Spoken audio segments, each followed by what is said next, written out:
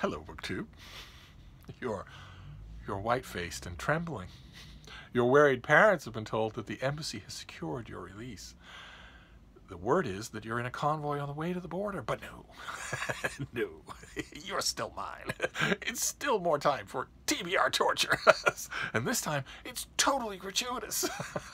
you already told me everything I want to know. I'm still going to torture your TBRs, this time with older books. Good Lord, is nothing safe. We're going to start with the first book in a an urban post-punk fantasy series that I really like. Uh, this is by Rob Thurman and it's called Nightlife. The little subtitle there is a Cal Leandros novel because Cal Leandros is a half supernatural, he's our half supernatural main protagonist. He's uh, a hottie.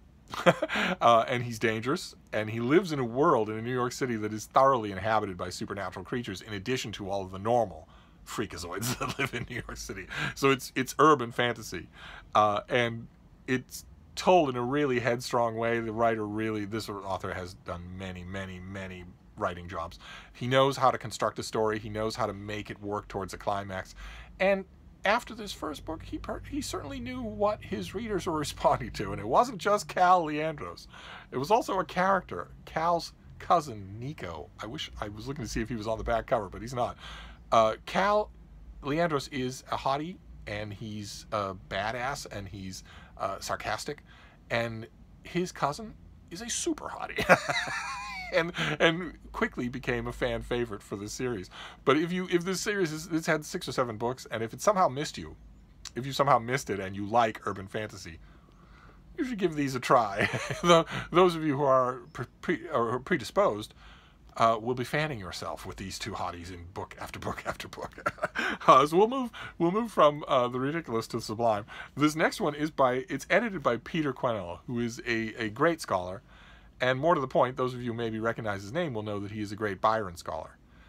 And this is a fantastic book that came out from Oxford University Press years and years and years ago. I don't think it's still in print, but if you ever see it at a used bookstore, it is one of the indispensable books about Byron to have.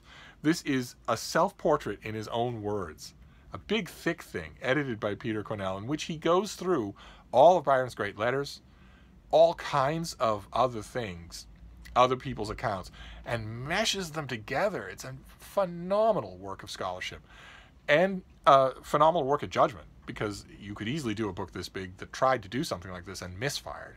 Instead, Quennell has a perfect ear for what delineates a self. So this is the closest that we will ever come to the biography that by the autobiography that Byron wrote that his publisher burned. This is the closest that we can ever come. This is every time that Byron has ever revealed anything about himself, come close to revealing something about himself, implied something about himself, and also all those things done by other people. So if you ever see this book and you're wondering about it, it gets my strongest recommendation. It is amazingly good. Uh, Byron's great company anyway on the page, but but uh, this is sort of a one-stop shop for all of that. Uh, then the next one is a classic. In this case, it's a Penguin classic. It's an orange spine mass market Penguin classic, and I'm I'm recommending it just because it's TBR torture time, and you're all my playthings, and you're going to know the book, of course. It's Daniel Defoe. It's Moll Flanders.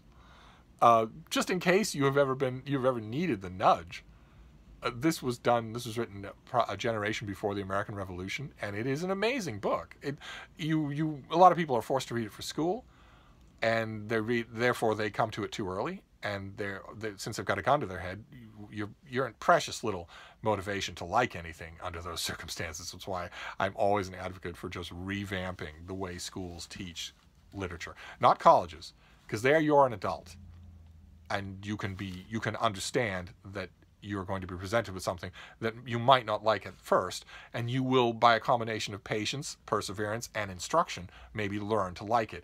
All of us have had that experience in college. I'm, uh, and so college, I'm not talking about, but a lot of people are forced to read this in high school, and no one should be forced to read anything in high school. You should be forced to read, but not a particular book. It should be your choice. You should be responsible for it, and just should, the whole system should be much more flexible. But one way or another, a lot of people are introduced to this book involuntarily, and that takes the fun out of it. This is a fun book.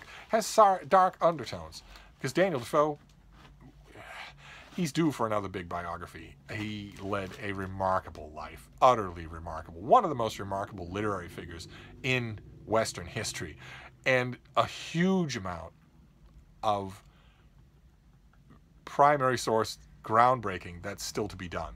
He's had a couple of good biographies in the 20th century, but there's a there's a thousand page biography out there that reconsiders him from the ground up.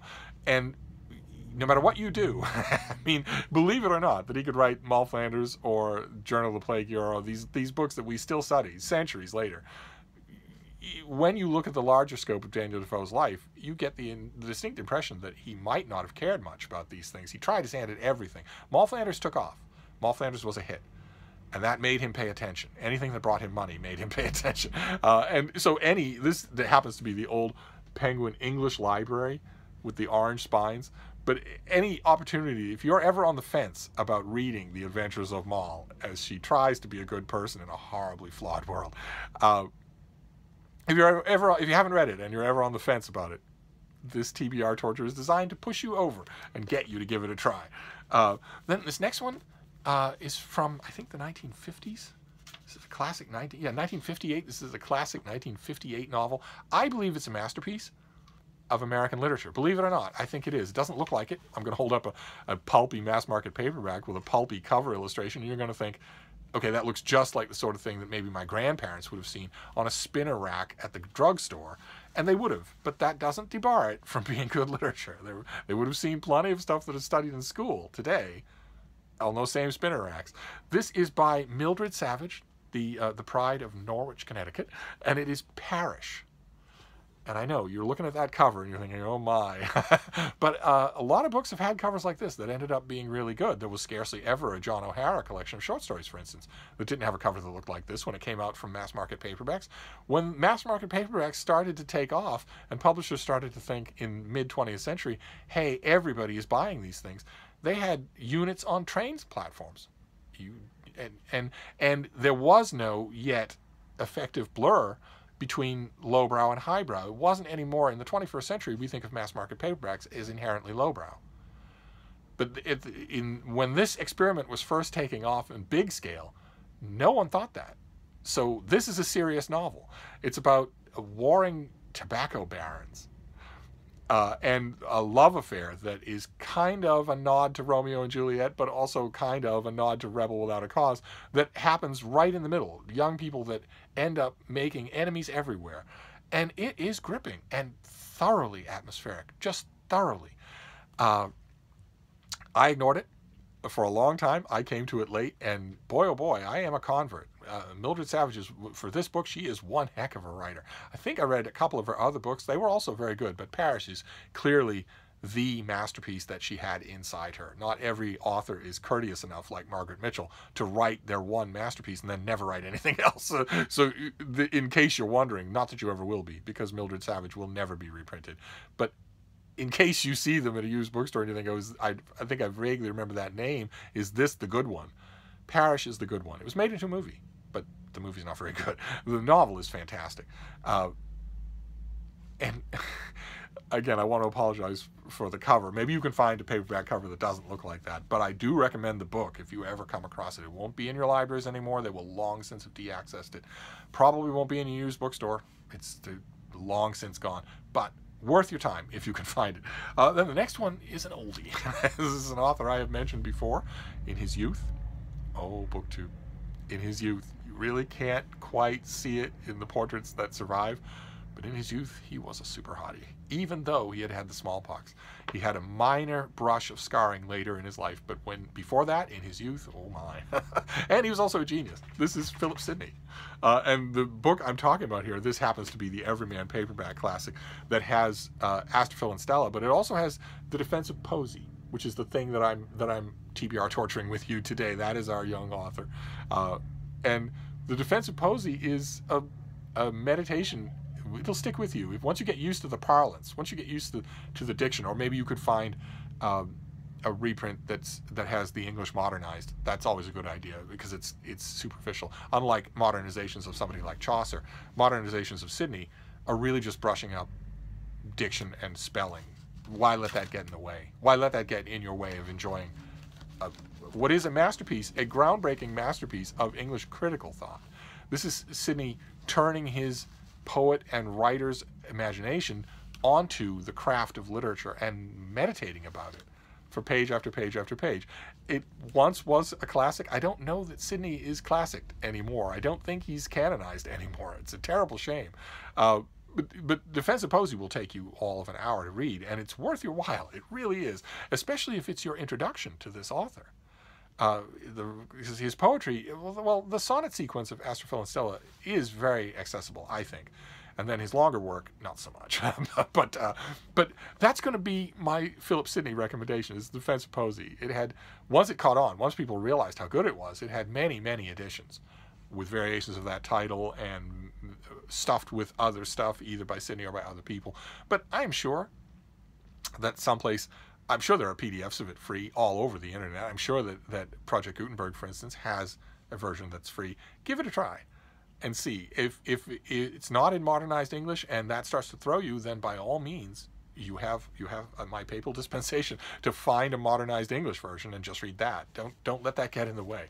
Uh, and then the last thing I want to do for this totally gratuitous TBR torture is a classic. A lot of you will know it. This is the best edition that I know of of this classic by far, hands down, and it's Cape Cod by Henry David Thoreau his this this edition contains not only his long his long essay on Cape Cod, its moods, its people, fundamental Cape Cod reading. Those of you who have ever been to Cape Cod, every used bookstore, every library will have multiple editions of Thoreau on Cape Cod. It's a wonderful. It's one of America's greatest writers in one of the one of the America's greatest thought meditations about location. One of the, one of the greatest location meditations that any American has ever written, uh, and this particular edition has an introduction by Henry Beston, who also did one of the greatest meditations on Cape Cod ever done, The Outermost House. And so pairing the two of them was just a perfect idea. And it also has illustrations by the great Henry Bugbee Kane, uh, who does not only line illustrations, little ones, like that, little a little but also big full page illustrations there you go there are birds black and white with waves in the background crashing in foam uh, I have mentioned on this channel many times. Oh, there's another one. Look at that. How lovely. Uh, I've mentioned on this channel many times that I love Henry Kane as an illustrator. I have actually gone out of my way to find books that he's illustrated even when I don't particularly want the book. That is not true with Cape Cod, with Thoreau's Cape Cod. In this edition, Beston also provides he provides an introduction, lots of notes, and also a few of, of Thoreau's other writings on Cape Cod, all in one volume. So this is this is by uh, Look at that. Look at that. Henry David Thoreau. uh, this is by Bramhall House. I don't know that you could search it by that. This is the edition. If you want to look for this, what this is what it looks like. And uh, it's well worth the search if you want the perfect edition of Cape Cod by Henry David Thoreau. So there you go. A totally gratuitous, extra TBR torture. Will Interpol ever stop me? I don't know. Would you actually want them to? I'm not sure of that either. so we have we have Cape Cod by Henry David Thoreau. We have a paperback version of Sir Philip Sidney, but in this case, I'm mainly just recommending the Defense of Poesy. Although I'm a big Sidney fan, don't get me wrong. We have a self-portrait by Byron, which he unfortunately never wrote, or it, he wrote part of one and it didn't survive. But this is amazing. It is an amazing work of literary reconstruction, well worth the time and effort to hunt down. And then three mass markets. We have Parrish by Mildred Savage, who, who is alas uh, no longer with us. Uh, we have Moll Flanders. He's no introduction by me, and yet I gave it one anyway. And we have uh, Nightlife, the first Cal Leandros novel uh, about supernatural hotties fighting their way just to to make their way in this topsy-turvy world of a supernatural New York. so, so there you go. And the fact that a TBR torture can be done on a random selection of books just that happen to ever have been published means that no one is safe. No one. but so I'll be back.